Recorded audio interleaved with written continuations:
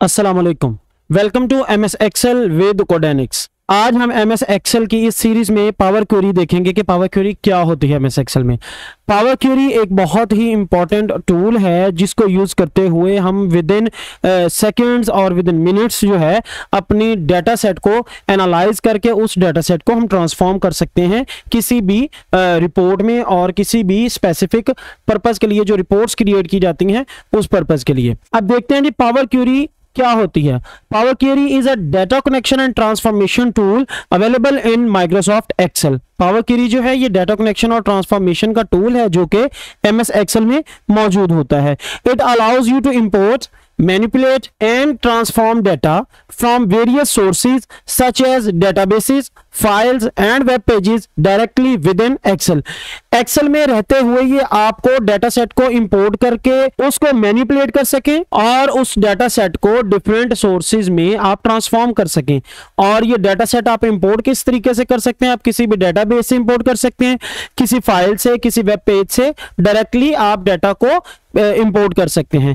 Power query is also known as get and transform in newer version of Excel Excel का जो कि 2016 से onward जो भी वर्जन है, उस वर्जन में ये जो पावर क्वेरी का फ़ंक्शन है, ये गेट एंड ट्रांसफॉर्म के नाम से जाना जाता है। Power query provides a powerful and flexible way to work with data in Excel power query जो है, ये एक फ्लेक्सिबल टूल जो है, या फ्लेक्सिबल मेथड जो है, या फ्लेक्सिबल एक गाइडलाइन जो है प्रोवाइड करती है आप, जो डाटा सेट है, उसको यूज़ करने में। Enabling you to automate data retrieval and transformation task combine data from multiple sources and create dynamic and refreshed reports आप डाटा को इंपोर्ट करने के बाद उसमें जो कुछ भी आपने ट्रांसफॉर्मेशन करनी है और आपने डेटा को चाहे आपने कंबाइन करना है डिफरेंट सोर्सेज से आप कंबाइन करके एक डायनेमिक रिपोर्ट और रिफ्रेश रिपोर्ट क्रिएट कर सकते हैं पावर कीरी के सॉल्यूशंस कौन कौन से हैं? पावर कीरी जो है डाटा क्लीनिंग और ट्रांसफॉर्मेशन में हेल्प आउट करता है। ये डाटा को इंटीग्रेट करने में और डिफरेंट जो सोर्सेज हैं, उनसे डाटा को इकट्ठा करके उनको इंटीग्रेट करने में हेल्प आउट करता है। डाटा को स्प्लिट करने में चाहे आपने कॉलम को स्प्लिट करना हो या आपने कॉलम को ग्रुप करना हो, उसमें हेल्प आउट करता है। डाटा क्यूरी जो है आपके डाटा को रिफाइन करने में हेल्प आउट करता है। पावर क्यूरी जो है, ये आपके डाटा सेट को मैनिपुलेट करके उसको ऑटोमेशन का सेटअप लगा के इस काबिल बना देता है कि आप जब भी उस फ़ाइल को ओपन करें तो उस डेट तक जो अप टू डेट या ऑटोमेशन के ज़रिए से जो अपडेटेड डाटा है, वो शो हो सके। डाटा कनेक्शन एंड शेयरिंग आप इस, जो पावर कीरी का फ़ंक्शन है या पावर कीरी का जो ऑप्शन है, इसके ज़रिए से आप डाटा को आप कनेक्ट भी कर सकते हैं और शेयर भी कर सकते हैं विद योर कोलीग्स पावर क्री का डेमो क्या हम क्या क्या देखेंगे इसमें? इसमें हम सबसे पहले load data from different sources हम पहले एक्सेल की जो वर्कशीट है, उसमें लोड करेंगे डाटा सेट को। Extract table from web files हम हम इसमें वेब फ़ाइल से भी जो है डाटा को एक्सट्रैक्ट कर सकते हैं सॉर्ट भी कर सकते हैं और सॉर्टिंग के बाद हम फिल्टर्स भी अप्लाई करेंगे और ग्रुप डाटा को ग्रुप भी कर सकते हैं, हम डाटा को स्प्लिट भी कर सकते हैं कॉलम्स में, हम पिवट और अनपिवट भी कर सकते हैं। पिवट और अनपिवट का क्या मतलब है? हम उसको पिवट टेबल में भी कन्वर्ट कर सकते हैं और पिवट टेबल से हम उसको अनपिवट भी कर सकते हैं। वर्किंग विद डेट कॉलम्स हम डेट कॉलम्स के साथ भी काम कर सकते हैं। उसमें जो डाटा सेट में मौजूद डेट्स होती हैं अपेंड टेबल्स टेबल्स को हम अपेंड कर सकते हैं, एक दूसरे के साथ मिला सकते हैं अटैच कर सकते हैं और टेबल्स को हम मर्ज भी कर सकते हैं। अब हम पावर क्वेरी के जो प्रैक्टिकल डेमो की तरफ़ चलते हैं और देखते हैं किस तरीके से हम पावर क्वेरी को यूज़ कर सकते हैं अपने डाटा सेट के लिए। अब मेरे पास ये डाटा सेट मौजूद है, ये एक सेल डिटेल है मेरी 2017 की 2018 की और 2019 की। अब मैं इन तीन ईयर्स की जो सेल डिटेल है, उसको एनालाइज करते हुए मैं ये देखना चाहता हूँ कि मेरे पास जो सेल्स हैं, उसका क्या ट्रेंड रहा है। तो पावर क्री को यूज़ करते हुए हम किस तरीके से कर सकते हैं?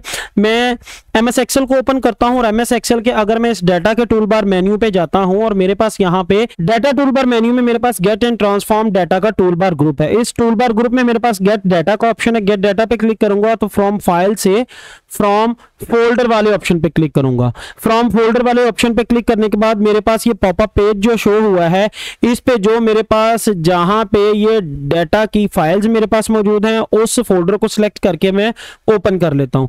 ओपन करने के बाद मेरे पास ये डाटा कनेक्ट होने के बाद ये मेरे पास ये जो पेज शो हुआ है, उसने बताया है कि इस पाथ पे मेरे पास ये जो तीन फाइल्स पड़ी हैं 2017 का ऑर्डर डेटा 2018 का ऑर्डर डेटा और 2019 का ऑर्डर डेटा इस डाटा सेट को मैं यूज़ करते हुए किस तरीके से अब मैं पावर क्वेरी का यूज़ कर सकता हूँ। अब यहाँ पे नीचे जो है, हमारे पास ऑप्शन आ रहे हैं कंबाइन कंबाइन पे अगर मैं क्लिक करूँ तो मेरे पास तीन और ऑप्शन हैं।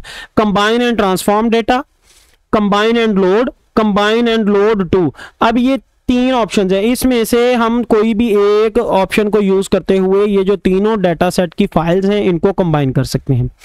नेक्स्ट है मेरे पास लोड डाटा सेट लोड कहाँ पे करना है? लोड टू के लिए कोई अलहदा से आपने जो इसको पाथ देना है, या आप लोड करना चाहते हैं इसी वर्कशीट पे, यहाँ पे आप ट्रांसफॉर्म डाटा पे क्लिक करके ट्रांसफॉर्म कर सकते हैं कैंसिल कर सकते हैं। अब यहाँ पे मैं कंबाइन पे क्लिक करके कंबाइन एंड ट्रांसफॉर्म डेटा पे क्लिक करता हूँ, और यहाँ पे कंबाइन और ट्रांसफॉर्म डाटा पे क्लिक करने के थोड़ी देर बाद, अब ये जो हमारे पास पेज शो हो रहा है, इसमें आपके पास सैंपल फ़ाइल आ रही है। अगर इसमें मैं क्लिक करूँ तो फ़र्स्ट फ़ाइल के आगे लिखा हुआ है 2017 ऑर्डर डेटा 2000 अब 2017 ऑर्डर डेटा 2018 और 2019 के ऑर्डर डेटा की जो फाइल्स थी, उनमें से उसने जो फ़र्स्ट फ़ाइल है, उसको एज ए सैंपल रख लिया है। जो जो हम इस पे ऑपरेशन करेंगे, वो क्योंकि सारा डाटा अब हमने कंबाइन पे क्लिक किया था तो ये तीनों जो फाइल्स हैं, ये एक दूसरे के साथ कंबाइन हुई हुई हैं। जो हम डाटा सेट की जो ट्रांसफॉर्मेशन या मैनिपुलेशन कोई भी फार्मूला लगा के हम सैंपल डाटा पे या सैंपल फ़ाइल पे करेंगे, वो भी सारे के सारे प्रोसेस प्रोसेसेस और सारे के सारी मैनिपुलेशन ट्रांसफॉर्मेशन सारी तीनों डेटा सेट की जो फाइल्स हैं, उन पे अप्लाई होंगी। फ़र्स्ट फ़ाइल को क्लिक करते हुए, अब मैं ऑर्डर डेटा पे क्लिक करता हूँ तो ये मेरे पास ये इसका प्रीव्यू आ जाता है। इसका प्रीव्यू देखने के बाद अगर मैं ओके पे क्लिक करता हूँ तो आफ्टर टेकिंग सम टाइम मेरे पास यहाँ पे जो है, ये एक पेज ओपन हो गया है। अब ये जो पेज ओपन हुआ है, ये पावर क्री एडिटर है, अगर आप ऊपर देखें तो ये पावर क्री एडिटर है। इसमें file, home, transform, add, column, and view, ये टूल बार मेन्यूज हैं, नीचे टूल बार रिबन और ग्रुप्स हैं। जैसे कि वर्कशीट में एमएस एक्सेल की जो वर्कशीट होती है, उसमें ये बेसिक चीज़ें मौजूद होती हैं। आपके पास यहाँ पे लेफ़्ट हैंड साइड पे आपके पास ये क्यूरीज शो हो रही हैं और आपके पास ये जो राइट हैंड साइड है, इसमें आप देखें तो क्यूरी सेटिंग है, प्रॉपर प्रॉपर्टीज़ है प्रॉपर्टीज़ के बाद अप्लाइड स्टेप्स जो हैं, इस कॉलम में हमारे पास जैसे जैसे हम स्टेप बाय स्टेप चेंजिंग करेंगे इस डाटा सेट में, वैसे ही हमें ये जो डाटा सेट है, इसमें चेंजिंग करते हुए स्टेप्स यहाँ पे शो होंगे।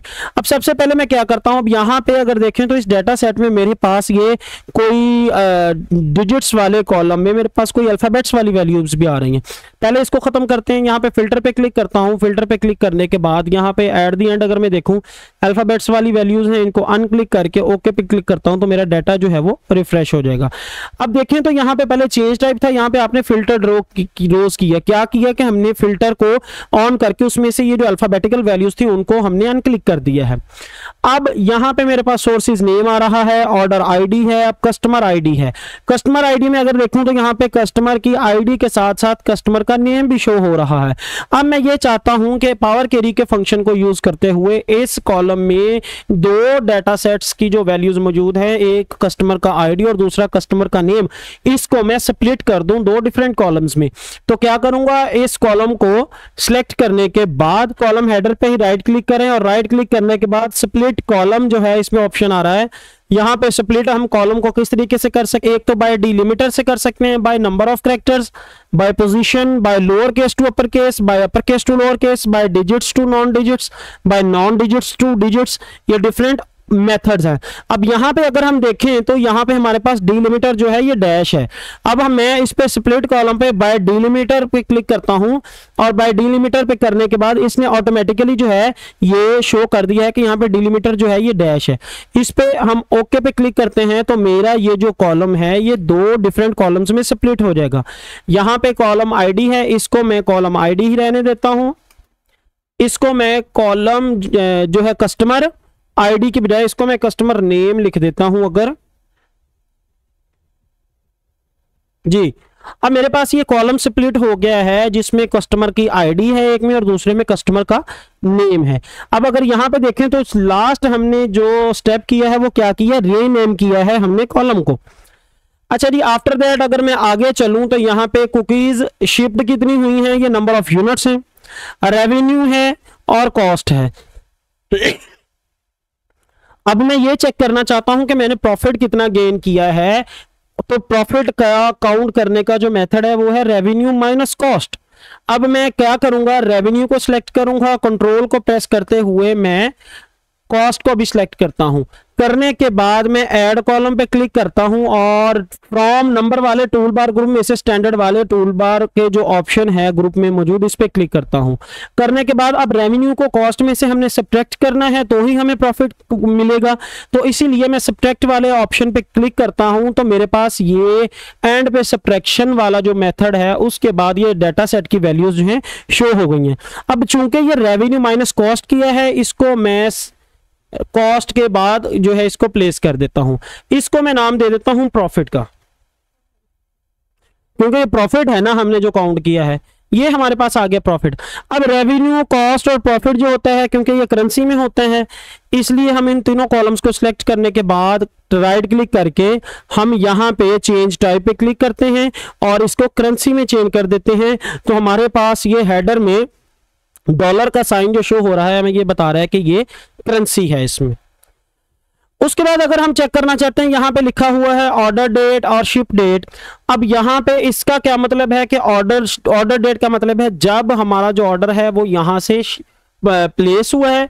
और शिप डेट क्या थी? वो डेट जिस डेट पे वो हमारा ऑर्डर जो है वो शिप हो गया। अब हम चेक करना चाहते हैं कि कितने दिनों में जो डेट ऑर्डर है हमारा शिप हुआ है या ऑर्डर प्लेस हुआ है उसको हम क्या आ, कैसे काउंट करेंगे? शिप डेट में से अगर मैं ऑर्डर डेट को माइनस करूँगा फिर ही काउंट होगा। तो इसके लिए हम क्या करेंगे, क्योंकि ये डेट फॉर्मेट्स में है, इन दोनों कॉलम्स को सिलेक्ट करने के बाद डेट पे क्लिक करेंगे। और डेट पे क्लिक करने के बाद सब्ट्रैक्ट डेज़ हमने काउंट करने हैं तो सब्ट्रैक्ट डेज़ पे काउंट क्लिक करूँगा। तो मेरे पास ये जो डेज़ हैं, वो आ जाएँगे। कितने दिनों में जो ऑर्डर है, वो शिप हुआ है।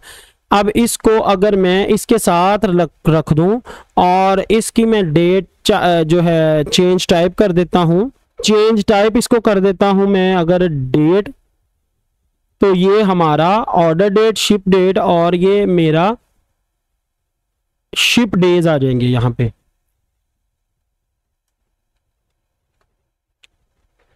जी, अब ये मेरे पास ये डाटा सेट जो है, वो ऑलमोस्ट सेट हो गया है मैनिपुलेट कर दिया है हमने। और सोर्स नेम जो है वो सेपरेट ही है। ऑर्डर आईडी और कस्टमर जो ऑर्डर आईडी का कॉलम अलहदा ही है। कस्टमर आईडी और नेम का जो इकट्ठा था, हमने उनको स्प्लिट कर दिया है। रेवेन्यू और कॉस्ट से हमने प्रॉफिट फाइंड कर लिया है। उसके बाद हमने शिप डेज़ कितने हैं, वो शिप डेट से ऑर्डर डेट जो है, वो सब्जेक्ट कर दिया। तो हमारा ये शिप डेज़ का जो कॉलम है, वो भी क्रिएट हो गया है। अब ऑलमोस्ट हमने जो भी चेंजिंग की है, वो कंप्लीट हो चुकी है हमारे डाटा सेट के अकॉर्डिंग और यहाँ पे अगर मैं देखूँ तो जो जो मैंने स्टेप बाय स्टेप चेंजिंग किए हैं, वो यहाँ पे मुझे शो हो रही हैं। और यहाँ पे ये पावर कीरीज शो हो रही हैं। अब ऑलमोस्ट डन करने के बाद अब क्या करते हैं? होम पे क्लिक करते हैं। होम के टूल बार मेन्यू पे क्लिक करने के बाद क्लोज एंड लोड पे अगर मैं क्लिक करूँ तो मेरा ये डाटा सेट जो है, ये ट्रांसफॉर्मेशन के बाद ये लोड हो जाएगा मेरे पास ये वर्कशीट पे। इसमें हमारे पास ये जो राइट हैंड साइड है, ये यहाँ पे हमारे पास क्यूरीज शो हो रही हैं और ये हमारी जो डाटा सेट हमने लोड किया है, इसमें नंबर ऑफ़ रोज को बता रहा है कि ये नंबर ऑफ़ रोज कितनी है? 2483 रोज हैं जो कि इस डाटा सेट में लोड की गई हैं। अब ये जो डाटा सेट है, हमारे पास आया। अब अगर हम इस डाटा सेट के अकॉर्डिंग पिवट चार्ट या पिवट टेबल क्रिएट करना चाहें तो उससे क्या करेंगे? डाटा सेट जो है, इसको हमने पिवट टेबल में कन्वर्ट करना है तो इंसर्ट के टूल बार मेन्यू पे क्लिक करके पिवट टेबल पे क्लिक करेंगे तो हमारे पास ये रेंज पूछेगा और रेंज और न्यू वर्कशीट इसकी प्लेस देके ओके पे क्लिक करने के बाद यहाँ पे हमारे पास अब हम पिवट टेबल क्रिएट करेंगे। पिवट टेबल क्रिएट करने के लिए मैं अब ये चाहता हूँ कि मैं प्रॉफिट देखना चाहता हूँ प्रॉफिट वैल्यूज़ देखना चाहता हूँ अकॉर्डिंग टू ऑर्डर डेट तो ये मेरे पास 2017, 2018, 2019 का ये जो तीनों फाइल्स थी उनके अकॉर्डिंग ये मेरे पास सम ऑफ़ प्रॉफिट्स आ गया है इनके अकॉर्डिंग अब अगर मैं इस डेटा सेट का चार्ट क्रिएट करना चाहूँ तो कैसे करूँगा? मैं यहाँ पे इंसर्ट वाले टूल बार मेन्यू में रिकमेंडेड चार्ट पे क्लिक करूँगा तो यहाँ पे अब मैं लाइन चार्ट क्रिएट करता हूँ तो ओके पे क्लिक करने के बाद ये मेरे पास लाइन चार्ट क्रिएट हो जाएगा। जो हमें ये बता रहा है कि 2017 में जो हमारा प्रॉफिट था, वो यहाँ पे था। 2018 में हमारा प्रॉफिट इंक्रीज किया है, जबकि 2019 में प्रॉफिट जो है वो डिक्रीजिंग ट्रेंड में आ चुका है। अब हमारे पास जहाँ पे 2017, 2018 और 2019 का डेटा जो था सेल डेटा अब उसके साथ 2020 का भी सेल डेटा जो है वो इसमें पहुँच गया है या इस फोल्डर में हमने प्लेस कर दिया है। अब मैं ये चाहता हूँ कि 2020 का डेटा भी इसके साथ ऐड हो जाए। तो क्या करेंगे? अब डेटा टूल बार मेन्यू में जाके जो क्वेरीज एंड कनेक्शन का जो टूल बार ग्रुप है इसमें रिफ्रेश ऑल पे अगर आप क्लिक करेंगे तो आपके पास रिफ्रेश ऑल करने के बाद 2020 का डेटा भी इसमें ऐड हो जाएगा। अब 2020 का जो डेटा ऐड हो गया है, इसके अकॉर्डिंग यहाँ पे आपके पास ग्राफ में भी चेंजिंग आ जाएँगी और आप इस पावर क्री के फ़ंक्शन को आप अप्लाई करते हुए जो चेंजिंग आपने, जो रेलिवेंट जो सैंपल फ़ाइल थी उसमें आपने ट्रांसफॉर्मेशन या मैनिपुलेशन की थी, उसी के अकॉर्डिंग जब आपने उस फोल्डर में सेम जो है सेल डिटेल के अकॉर्डिंग जो है फ़ाइल प्लेस की है, उस फ़ाइल को आप as a sample data manipulate करना चाहते हैं तो आप एक्सेल की फ़ाइल में आते हुए पावर क्वेरी का जो आप चार्ट क्रिएट किया है, उसमें डाटा के टूल बार मेन्यू में जाके आप रिफ्रेश ऑल जो कि क्यूरीज और कनेक्शन वाले टूल बार ग्रुप में मौजूद है ऑप्शन उस पर क्लिक करेंगे तो आपका data as well as sample data file आपका डाटा सेट जो है वो अपडेट हो जाएगा और रिफ्रेश हो जाएगा और आप इस डेटा सेट को ये जो हमारा जो लाइन चार्ट क्रिएट किया है इसके अकॉर्डिंग आप देख सकते हैं कि 2017, 18 और 19 के जो ग्राफ है उसके बाद यहाँ पे 2020 का ग्राफ भी शो हो रहा है जो लाइन चार्ट है जो हमें ये बता रहा है कि जो 2020 है उसमें सेल डिटेल जो है विद डिक्रीजिंग प्रॉफिट ट्रेंड मौजूद है। इसी तरह अब अगर आप यहाँ पे अब सोर्स नेम जो वाली फ़ाइल है सोर्स नेम वाली पे फ़ाइल पे क्लिक करें तो आपको फ़िल्टर पे क्लिक करने के बाद यहाँ पे पता लग जाएगा कि यहाँ पे 2017, 18 और 19 के बाद 2020 का भी डेटा जो है इसमें लोड हो गया है जिसके अकॉर्डिंग हमारे पास ये जो चार्ट्स हैं उसमें भी ट्रांसफॉर्मेशन आई है। जी तो आपने ये मेथड देखा है कि किस तरीके से आप शार्पली और स्मूथली अपने डाटा सेट पे पावर क्वेरी का फ़ंक्शन अप्लाई करते हुए अपने डाटा सेट को ट्रांसफॉर्म और मैनिपुलेट करके रिपोर्ट्स क्रिएट कर सकते हैं।